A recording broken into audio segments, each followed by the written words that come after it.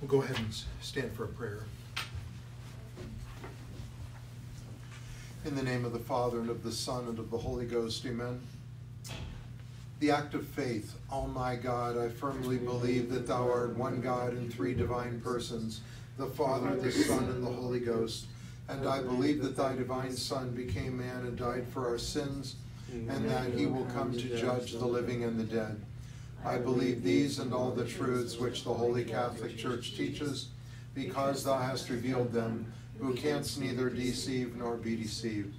Hail Mary, full of grace, the Lord is with thee. Blessed art thou among women, and blessed is the fruit of thy womb, Jesus. Holy Mary, Mother of God, pray for us sinners, now and at the hour of our death. Amen. Saints Peter and Paul, Pray for us. eternal rest grant unto him, O Lord. And let perpetual light shine upon him. May his soul and the souls of all the faithful departed through the mercy of God rest in peace. Amen. In the name of the Father, and of the Son, and of the Holy Ghost. Amen. All right, please be seated.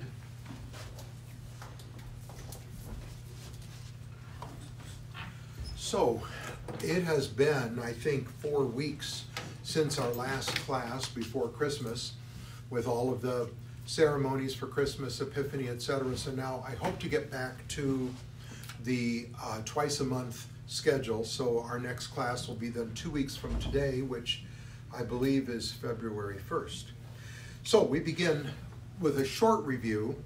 Last class, we finished the uh, what are sometimes referred to as the Christological heresies, which means the heresies that have to do with Christ and our understanding of who he is. That Jesus Christ, of course, is one person with two natures. And all the different heresies, the Arianism, Nestorianism, Eutychianism, and then the last um, heresy that we had was monothelitism. And monothelitism, monothelitism, I'm missing an L. Big words. Has to do, it means one will, monothelitism. And that was the heresy that really led to a lot of controversy uh, with Pope Honorius, who was later condemned in a council because he had not forthrightly condemned the heresy. He wasn't a heretic himself, he didn't promote it, but he just failed to condemn it strongly. But that was the name of the heresy, monothelitism, which taught that there was only one will in Christ. So in effect, it denied the human will of Christ. So that was that was condemned in the I think the early 600s. So we're going to take up from the um, early 600s, and the first thing I want to mention today is the Muslim religion. Now, uh, that this is not so much a heresy. I mean, it contains heretical ideas such as they do reject the Trinity, believe in only one God and one person. But um, it's important to understand because it affected the, the church so much and has continued to affect the church and society.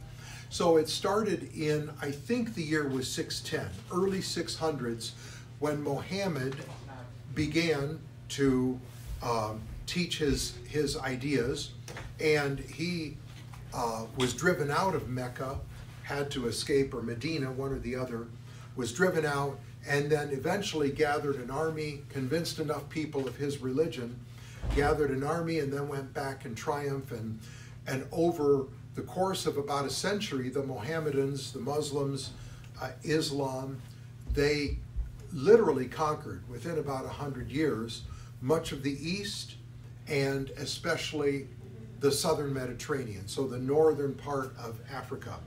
But um, Mohammed taught polygamy, and he had a very sensual idea of heaven, promised extraordinary pleasure, etc. Did not have the spiritual concept. And he got his religion, he had been a trader and traveling on caravan routes, etc. And he met encountered Christians and Jews and pagans. And so he developed this religion, which was a mixture of ideas from these different uh, other religions. So the Muslim religion, well, he gave it the, the name Islam, and it um, became quite successful in subjugating large numbers of people. Now, the next heresy that we're going to come to is the iconoclast heresy, or we'll call it iconoclasm. And you know what an icon is in the Eastern rites, they have holy pictures that they refer to as icons. And so iconoclasm was the idea of breaking the pictures, the images, destroying them, and forbidding the use of, of images. So I'm going to read a little bit here from a history book regarding iconoclasm. The religious use of pictures and images, common since the catacomb days, had always been favored in the Eastern Church. But now the conspicuous place that images occupied in the daily life of the people aroused strong disapproval on the part of several groups. The monks were very much in favor of the use of images and supported it.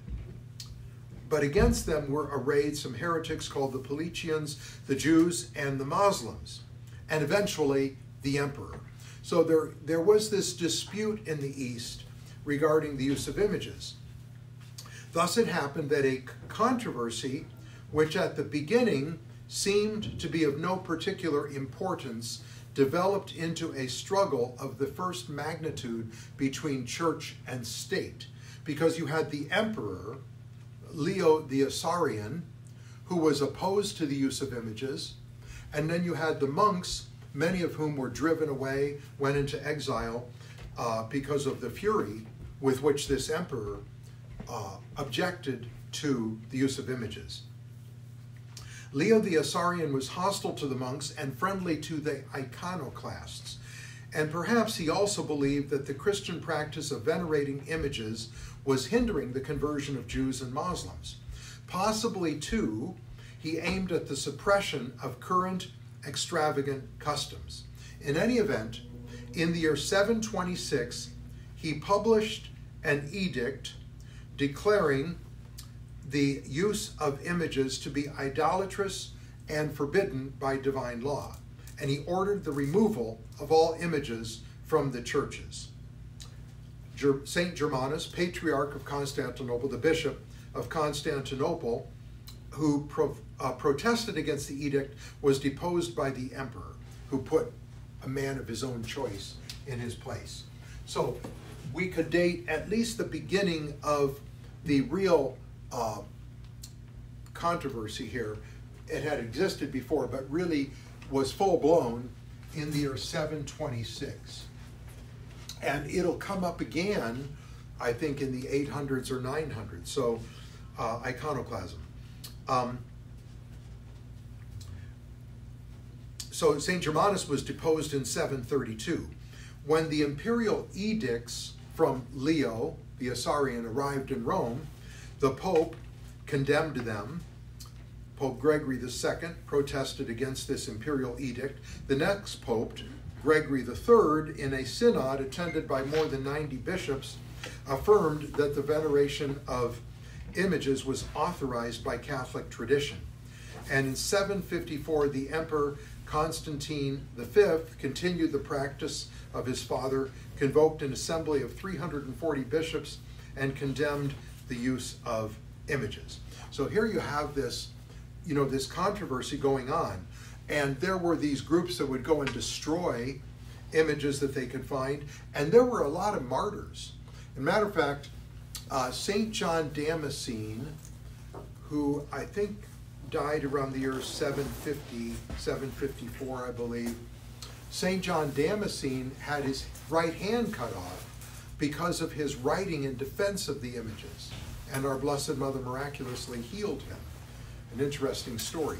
But there were a number of monks and Catholics put to death or uh, tortured because of their support of the use of images. So we need to talk about that for a minute uh, in a catechism, you will have um, a discussion of the use of images and the, the permission to use images, uh, usually under the first commandment. Because, of course, the first commandment, I am the Lord thy God, thou shalt not have strange gods before me. And if you go back to the book of Exodus and you read the entire first commandment, it's thou shalt not have any graven images, nor shalt thou adore them. And so the, the idea is the adoration, the idolatry of, of an image. But the use of images has been in the Catholic Church since the time of the catacombs, where you can find images painted on the walls of the catacombs. And it has always, always existed. We know that Protestants have a difficulty with our practice of having statues and pictures, as though it's a violation of the first commandment. And it gives us the opportunity to explain to them we don't adore these images, but they serve to remind us, since we are affected by our vision, by our senses, they remind us of the persons to whom we are praying, whom we are honoring. Um, and th- this has been, you know, as a result of this whole controversy, the proper use of images was defined. But one interesting thing you can say to non Catholics who object to the use of images well, if God meant that there should be no images at all for any reason, if you took it literally, it would forbid the use of spoons and cups and plates, etc.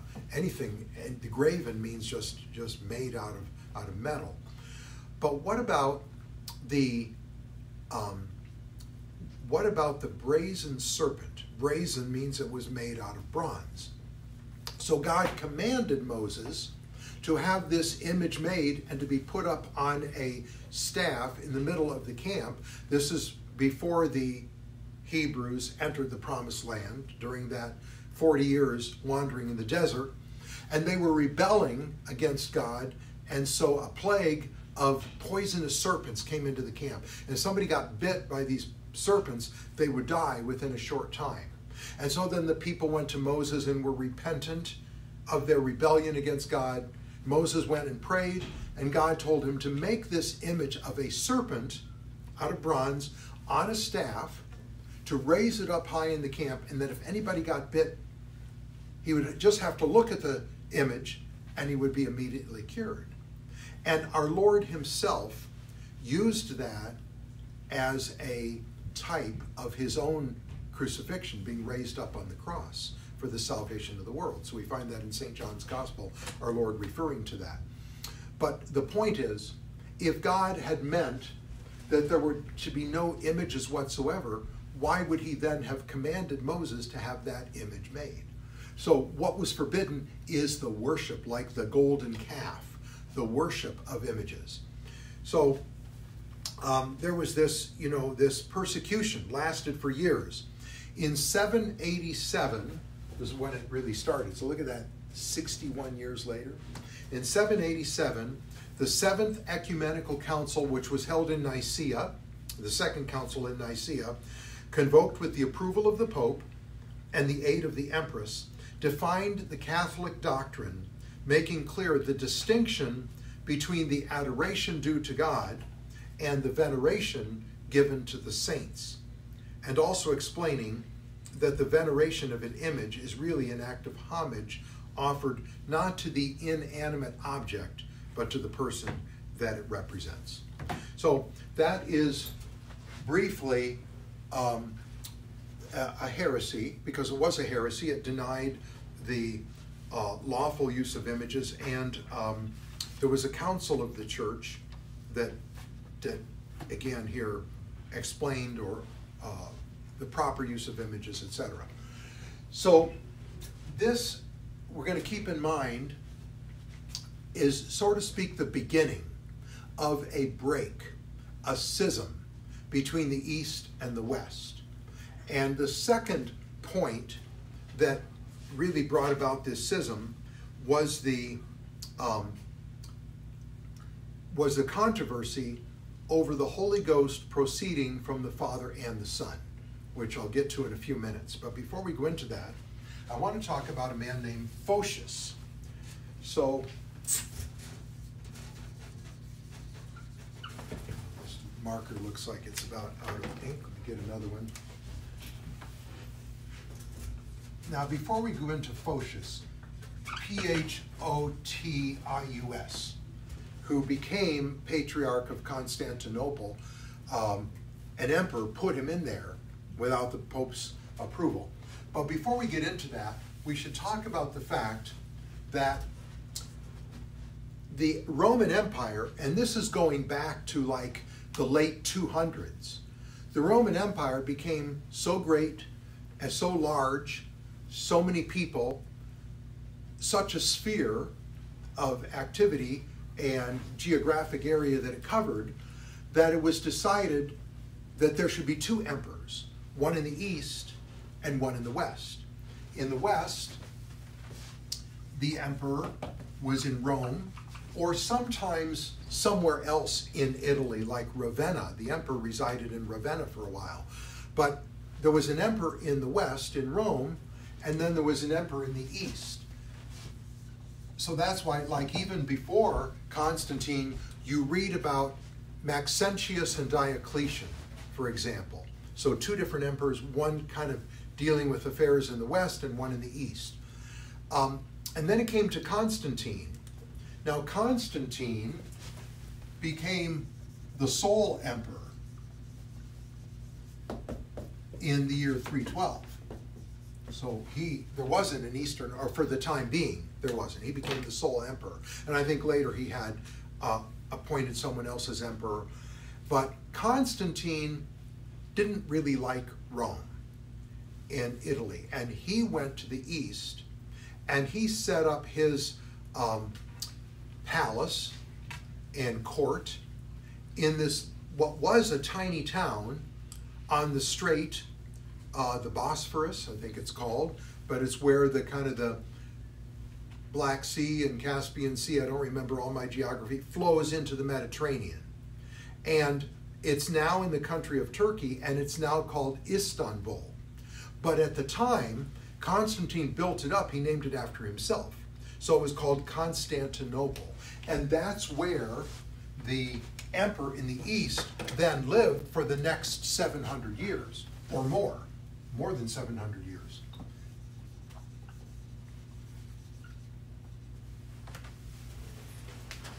Constantinople.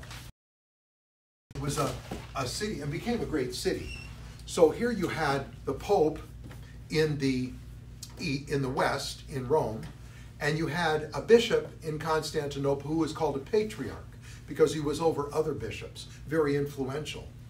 Well, over time, what was happening is there were more and more differences between the East and the West, and even a resentment on the part of many Catholics in the East that the head of the church should reside in Rome.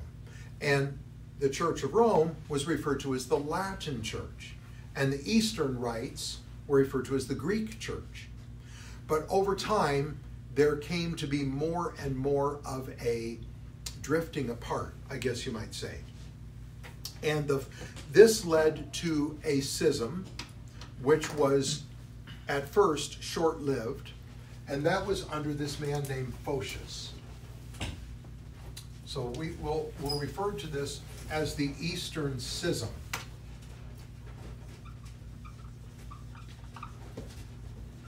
So, meaning the break, schism is a break between the East and the West. So, I just want to read a little bit about it. So, in 842, the emperor was Michael III, the emperor of the East, of Constantinople. And as a result of the iconoclast dispute, ecclesiastical leaders had split into two factions, one of which excluded from office all bishops who had been iconoclasts, whereas the other advocated the restoration of repentant prelates to their old positions. On the strength of serious charges against the morals of a certain Bardas, uh, I don't know all about him, the patriarch Ignatius refused to admit him to communion. So whoever he was, this man. So the patriarch, meaning the bishop of Constantinople, was a man named Ignatius. This is in the mid 800s, okay? Thereupon, Ignatius was deposed by Michael III, the emperor. So the emperor said, You can't, Bardas is a friend of mine, you can't be bishop any longer. He deposed him and he made Photius the bishop of Constantinople, the patriarch of Constantinople. And Photius had been a layman, but, but he was put in that position by uh, the emperor in 857. These events evoked a vigorous action on the part of Pope Nicholas I, who, in a Roman synod in 863, excommunicated Photius and also requested the patriarchs of the East to repudiate him.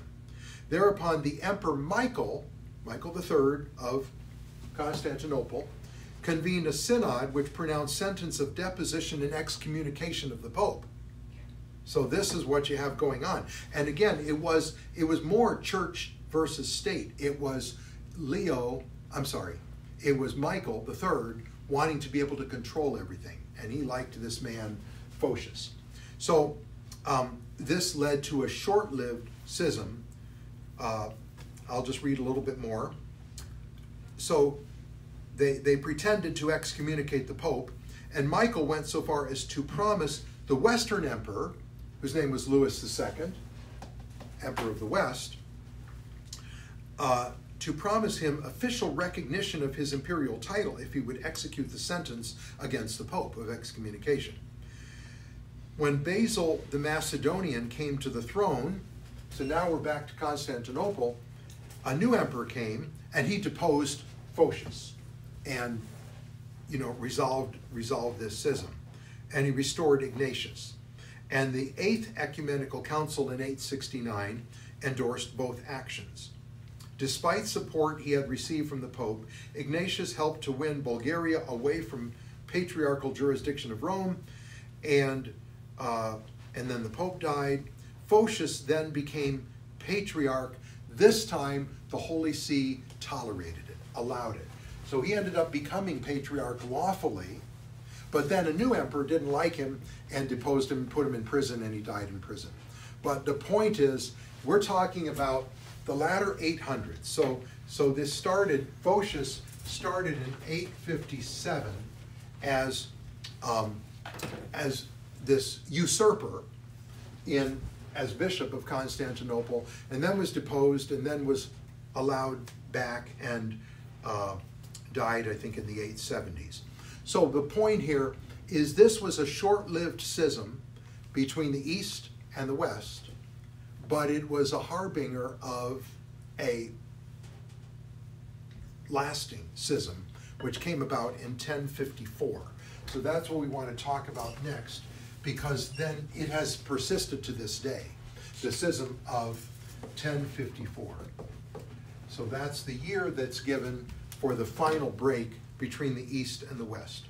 Um, again, there were the, the various differences between the East and the West that, that kind of precipitated the difference in language, you know, Latin versus Greek, and so on and so forth. Um,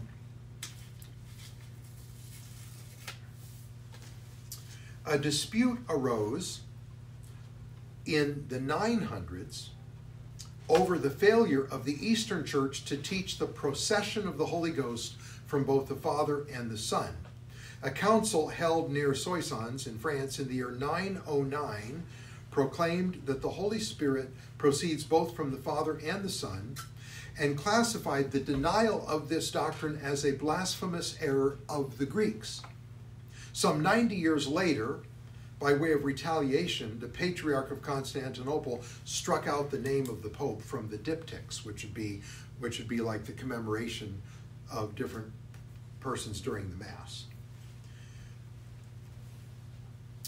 Uh, so I want to take a minute before we finish leading up to the schism and what, what the circumstances were. I want to take a minute to talk about the um, the teaching of the church on the procession of persons in the Trinity. Now, for us, this is this is something very deep. Theologians discuss and and try to understand. But we know from Scripture and from the teaching of the church that the Father begets the Son.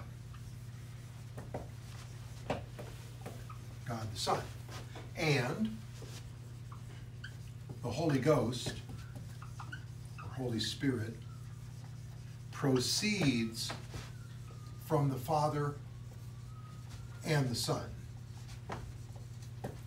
And when this was was being taught, many in the East objected to that and said, this is something new that the that Rome is coming up with and it's wrong.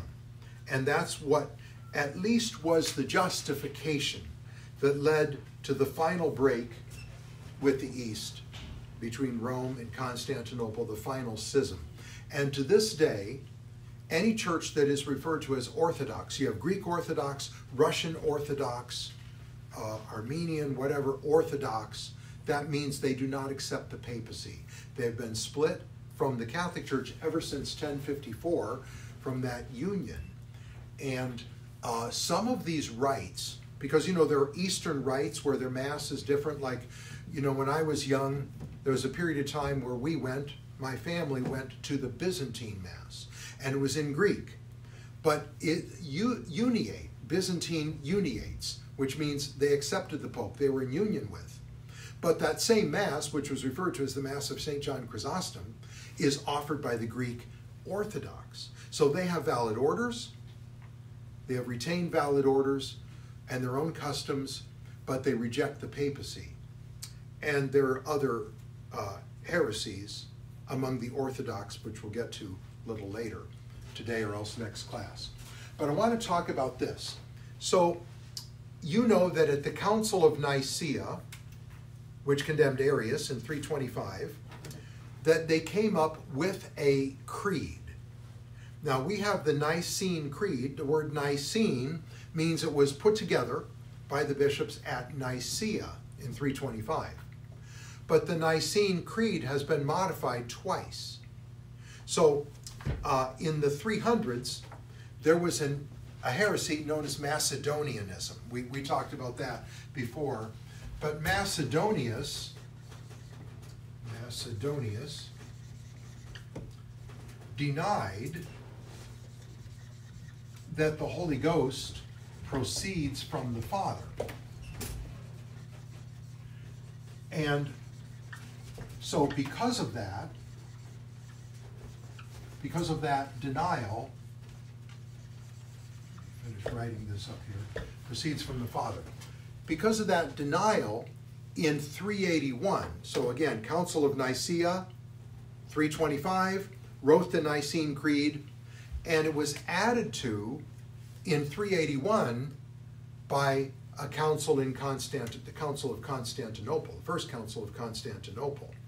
Now, this is the part we read the creed every Sunday, right after the gospel or after the sermon, and on certain feast days. There is a creed at Mass. And it's not the Apostles' Creed that we say at the beginning of the Rosary, but the Nicene Creed. And we say the second part of the creed has this these words and i believe in the holy ghost the lord and giver of life who proceeds from the father and the son who together with the father and the son is adored and glorified who spoke by the prophets now this these words were added uh, in 381 by the council of Constantinople. But it put the Holy Ghost, because it was correcting the error of Macedonius, it just put the Holy Ghost proceeds from the Father, who proceeds from the Father. And then later, a council in Toledo, Spain, in, I got the year here somewhere, but the Council of Toledo then added and the Son. Now, the Latin word for and from the Son is filioque.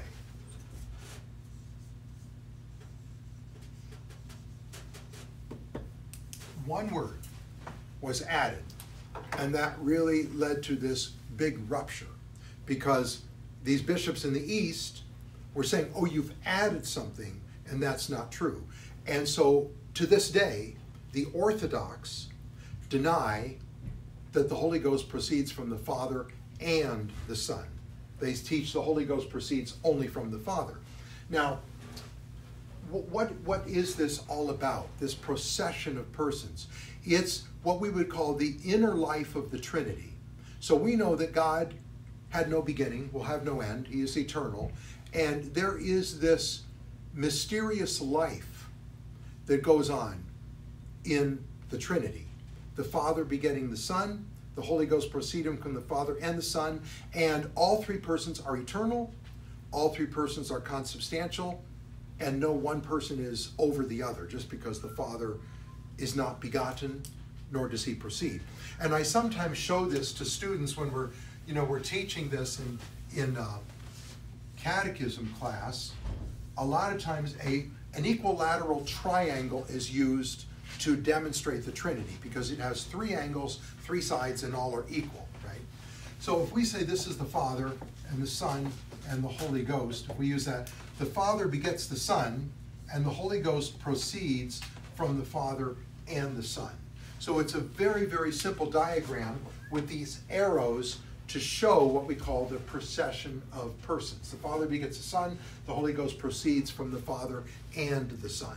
So, as I mentioned to you, to this day, the Greek Orthodox or Russian Orthodox, all the Orthodox, they deny that the Holy Ghost also proceeds from the Son, filioque, and from the Son. That's a Latin word which means and from the Son. So, how would you answer that? Well, I want to give you a couple quotes from Scripture. Here is in the Gospel of St. John, chapter 16. And now I, this is Jesus speaking to his apostles at the Last Supper. And now I am going to him who sent me. And no one of you asks me, Where art thou going? But because I have spoken to you these things, these things, sorrow has filled your heart. But I speak the truth to you. It is expedient for you that I depart. For if I do not go, the advocate will not come to you. But if I go, I will send him to you. I will send him. This is Jesus speaking, God the Son, right? I will send him to you. And when he has come, he will convict the world of sin and of justice and of judgment, etc. And on other occasions, he refers, Jesus refers to the Holy Ghost as proceeding from the Father. Here's another quote from the 15th chapter of St. John's Gospel. When the advocate has come, whom I will send you from the Father, the Spirit of truth, who proceeds from the Father, he will bear witness concerning me. Now, notice in that, that short sentence, our Lord is saying two things primarily in, in this regard. He's saying, When I go, I will send him to you, whom I will send you from the Father. So I will send. And then he goes on to say, The Spirit of truth, who proceeds from the Father. So the Catholic Church has always taught the Holy Ghost proceeds from the Father and the Son. But when the Council of Toledo added those words to the Nicene Creed and from the Son, even added that one word, then there was a, you know, a big um, disagreement. That was in 589 that those words were added, the filioque. And finally, uh, we have a the 14th Ecumenical Council, which is the Second Council of Lyon. You know, Lyon is in southern France in 1274. The Second Council of Lyon decreed, quote, "We confess that the Holy Ghost proceeds eternally from the Father and the Son, not as from two principles, but as from one principle, not by two spirations, but by one single spiration, breathing forth." So that's just a you know quoting from a council of the church and the faith of the church is the Holy Ghost proceeds from the Father, filioque, and from the Son. But that was used as the main sticking point in the East to have this break with Rome. So let me read a little bit more about the details, and this is what, where we'll end for today.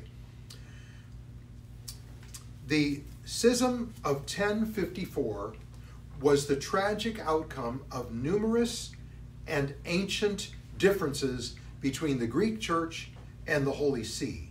Michael Cerularius, the Patriarch of Constantinople, without raising any strictly theological issue, built up a quarrel with the Pope out of protests against the eating of certain things, the custom of fasting on Saturday, the omission of Alleluia during Lent, which is done in the Latin Church, the Roman Church, but not in the East, um, and, and the use of unleavened bread, etc. You know, in the Eastern rites, they use leavened bread, but the Western Rite, the Latin Rite, has always used unleavened bread. So all these little differences.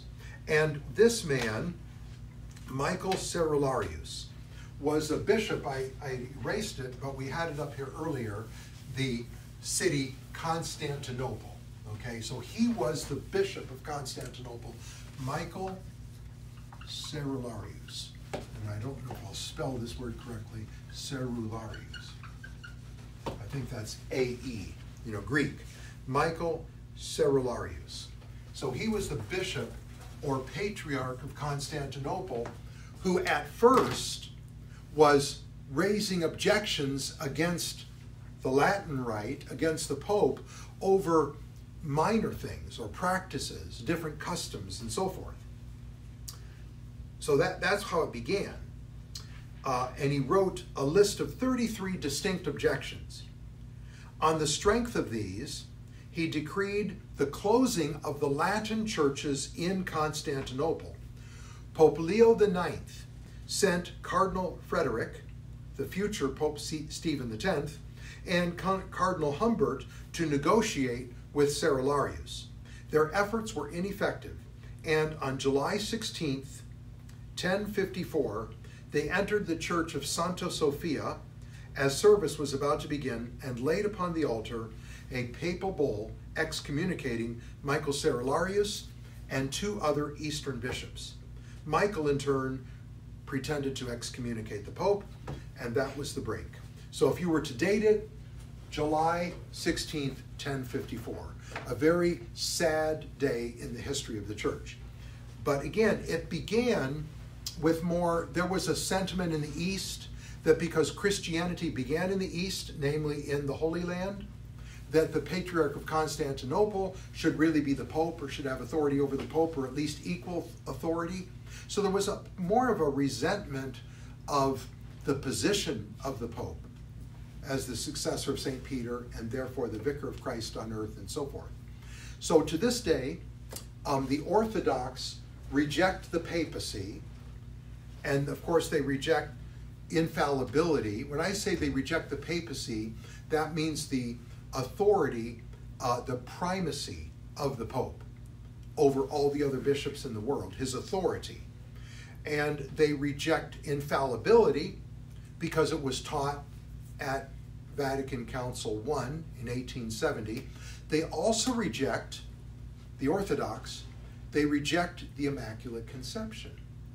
And the reason why they reject the Immaculate Conception is because it was solemnly defined by a pope. Uh, and one other thing, and there are, there are other differences, but one other thing that's interesting is they allow divorce and remarriage, the Greeks, the, the Greek Orthodox, that is. They allow divorce and remarriage. Now, I'm not talking about an annulment. We're talking about a couple validly married and they acknowledge they were validly married, but they want a divorce and then remarry, and they allow that in the Greek Orthodox Church. So, those are some of the main differences.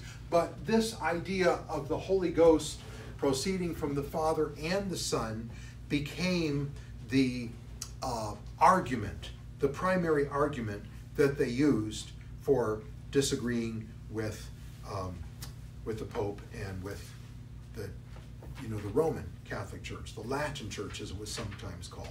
So so that in sum total is uh, it's a schism, meaning a break from the unity, from the authority of the Pope, but it also includes heretical ideas like this denying that the Holy Ghost proceeds from the Father and the Son. And I just gave you two quotes from our Lord's words recorded by St. John the Holy Ghost, whom I will send you from the Father. And again, whom I will send. So, pretty clear right there. And again, the Catholic Church has always taught it. And there were even Eastern bishops who taught that the Holy Ghost proceeds from the Father and the Son. But when it, when it became that they needed a, a justification, I, I guess you might say, then this came up again, what had come up before.